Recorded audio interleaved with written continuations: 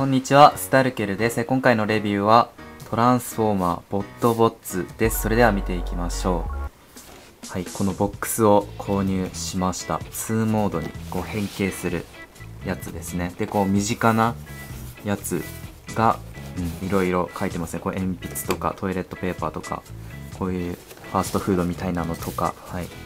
こういうボックスになっています。24体入ってるみたいですね。うん。で、こうやって開ける。とか、はい、ラインナップが書かれています。このような感じですね。うん。で、後ろ、トランスフォーマーハズブロ。で、側面、こっち側がこういう感じですね。はい。ちょっと個人的にこれすごい気になってるんですけどね。はい、で、後ろがこうなってます。それでは、早速開けていきたいと思います。はい。中身を開けると、このような感じで、たくさん、この、こういうのが入っています。それでは、ちょっと、これから開けてみます。まず、ここを、こうやって、はい。そしたら、これを押す。あ、はい。出てきました。ちょっと、この方法だとめちゃぐちゃぐちゃになりますね。中身を取り出すと、このボットボッツ本体と、この説明書が入っています。で、この今回のボットボッツというシリーズなんですけど、それぞれにチームが存在していて、で、まずこれはジョックスクワットですね。こうアスリート部隊みたいな感じだと思うんですけど、これのチームです。で、こう、それぞれの、そのチームごとのイラストが書いてあって、で、裏がこう、手に入れたやつをこうチェックできるみたいなやつが書いてますね。で、これまた面白いのが、この、まあ、ロール、この役割ですね、この、キッドクローバーの。が、こう、ブルージングボクシンググローブって書いてるんですけど、こう、打撲とか、こう、傷がついた、こう、まあ、ボクシンググローブらしいです。それでは変形させていきたいと思います。まず顔を出して、手、手を出して、で、足を出すと。はい、これで変形完了です。すごい簡単ですよね。で、こう、目が腫れてるというか、内出血してたり、歯が折れてるっていうのがすごい面白いと思います。で、ちゃんとボクシングも、グローブもしてるっていうのが、うん、いいと思います。表情がすごいいいですよね。これがバッツビーです。で、このバッツビーは、野球のホームラン王だそうですね。で、こう、ここがちょっと硬いんですけど、こう腕を出して足を分割させると、このような感じになります。こう表情がいいですよね。で、こう、野球の帽子みたいな感じにも見えますし、可愛いと思います。次は敵チーム見ていきたいと思います。敵チームのイラストはこのような感じになっています。で、これがスキルズパンクで昔ながらのゲームカートリッジらしいです。このような感じですね。ディセプティコンとオートボットのマークが書かれて VS ってなってますね。でこのような感じです。それでは変形させていきます。手を出して最後足を出すと、はい、スキルズパンクです。こう手が動きますね。でこう、メガネしてる感じが可愛いと思います。次は SA チーズです。芸術的なデジタルカメラらしいですね。で、変形をさせると、このような感じです。各所ボールジョイントなのですごく稼働させやすいですね。このような感じです。敵チームの最後は命知らずなスポーツカメラのフォモです。で、変形をさせると、このような感じですね。こう片目がカメラになってるっていうのがいいですね。このような感じです。次はロストボッツを見ていきたいと思います。ロストボッツのイラストはこのような感じになっています。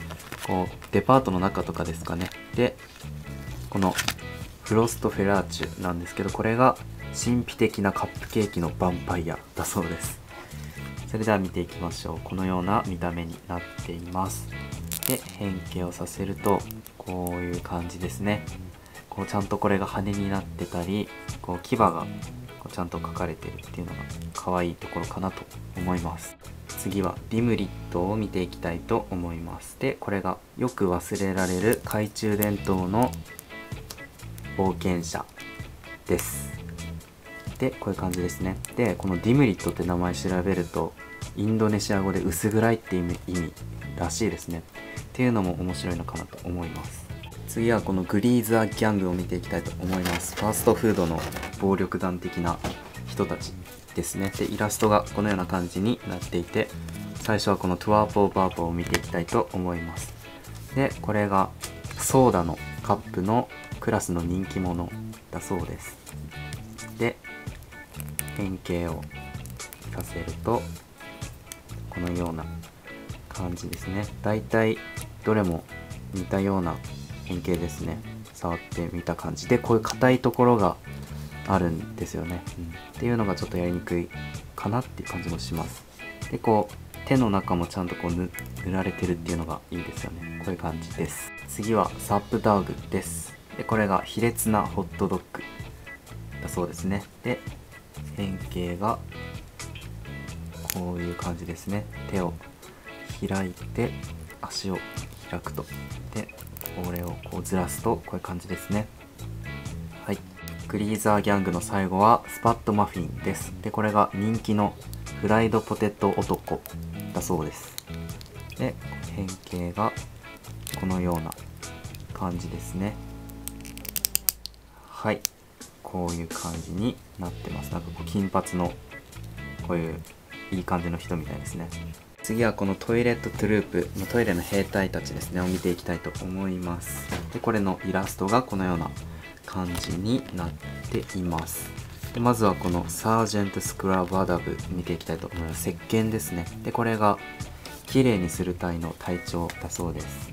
でここにオートボットのインシグニアがあるっていう泡とかもちゃんとついてますね。でこれを変形させるとこのような感じですね。はいこうです。次は NoBO です。でこれがすごく鼻が利く血まみれの脱臭剤です。なんかすごいこう物騒ですけど顔もちょっと怖いですよね。このような感じですね。最後はこのスティンコザウルスレックスです。でこれが見張り役のティラノサウルスです。このような感じですね。はい。かわいいこういう感じです。それでは次はこのバックパックパンチを見ていきたいと思います。でこれのイラストはこのような感じになっています。で最初はこのプロフェッサー・ウェルレッドを見ていきたいと思います。でこれがすごく頭のいい本が好きな人です。で変形はこのような感じですね。で腕が動くとネクタイもしてますね。こういう感じです。はい。で次がこのクランクスです。で不気味な鉛筆削りですね。でこがちゃんと回るんですよ。ちょっと不気味ですね。で手が出て足を回して引っ張る。でこういう感じですね、はい、次はトートマゴーズです。でこれがおしゃれなバッグです。で変形させるとこのような感じになります。はい。ですね。そしてこのバックバックパンチ最後はスニッピースナッピーです。でこれがすごく速い動きのハサミのおどけ物です。でこれを変形させるとこのような感じですね。はいかわいいこういう感じです。次はこのシュガーショックスです。でこのシュガーショックスのイラストがこのような感じになっています。でまずはこのココアクレイジーから見ていきたいと思います。でこのココアクレイジーの役割が心温まるホットチョコレートです。なんかすごいいいですよね。で変形がこのような感じですね。かわいい。次がリモーセルです。でこれが不機嫌なダークチョコレートです。で変形がこうですね。でこれすごい顔がこう不機嫌な感じでめっちゃ可愛いんですよね。で足を出すと。はい。こういう感じですね。うん。これもすごい可愛いですね。こう手もちゃんとこう動きますし。シュガーショックスの最後はシッピースラップスです。でこれがすごく寒がりなドリンクですね。でこうちゃんと顔もこう寒がってるような顔をしてていいんじゃないかなと思います。でこう顔の形とかもすごいロボットって感じがしていいですよね。でこう足を伸ばしてこのような感じですね。はい。それでは最後はこのシードヘッズを見ていきたいと思います。でシードヘッズのイラストはこのような感じになってます。でまずはこのルートウィングから見ていきたいと思います。でこのルートウィングは神の賢いドラゴンですかね。でここを開いてでここかな足をこう出すと。でこっちも出す。そしてこれが尻尾になるのかな。でこういう感じですね。うん。こうなんか面白いですよね。こう植物のドラゴンって感じがして。こういう感じです。次はファンガスです。でこれが面白いことが好きなマッシュルームですね。でこういう感じに変形します。このような感じですね。シードヘッズの最後はヴィーナスフライトラップです。でこれモチーフがハエトリグサなんですけどハエトリグサがヴィーナスフライトラップなのでそれをこうもじってるんですかね。でこれの役割がお腹の空いたハエトリグサガエルです。これカエルなんですね。ちゃんとあカエルなんだと思ってうん面白いなと思いました。このなんかこう土ついてる感じとかが面白いですよね。なんかそばかすっぽくも見えていいんじゃないかなと思います。で変形がこういう感じですね。この足の部分ちょっとこうめちゃくちゃ無理やりな感じもするんですけどはい。こういう感じですね。うん。面白いですよね。ちゃんとこう足が生えるっていう下に。こういう感じです。ということで全部終わったんですけどなんとこのこれが入ってなかったんですよね。うん。多分今のこの開けた感じを見ると多分全部入ってるのかなと思うんですけどなんとこれの代わりにこのスキルズパンクが2つ入ってるという。これどうなんですかね。全部こういうなんかどれかダブルとかいう風になってるんですかね。それとも自分のだけこう間違ってたんですかね。ちょっとこれが残念ですね。ということで今回のボットボッツのレビューいかがだったでしょうか。全員並べるとこのような感じになります。個人的にはこの前列の人たちがすごい気に入ってますね。でこれこの変形とか見た目がすごい個性があるんですけどさらにこの設定であったりこうそれぞれにチームがあってチームごとにちゃんと、うん、共通というか、うん、似たような感じのモチーフになってるっていうのもすごい素晴らしいと思いました。でまあちょっとこう変形させづらい点とかもまあ小さいのであったんですけど、まあ、すごいちょっと柔らかいので、うん、触り心地はすごいいいですね。でこう紙ですね。このイラストとか見るとこうまだ出てきてないキャラとかもいるんですよね。このボックスに書かれてないキャラ。なのでこれ次のシリーズ出るとしたらうん。このまだ未登場のキャラも出るんじゃないかなと思うんですけどどうなんですかね？是非個人的な出てほしい感じはするんですけど。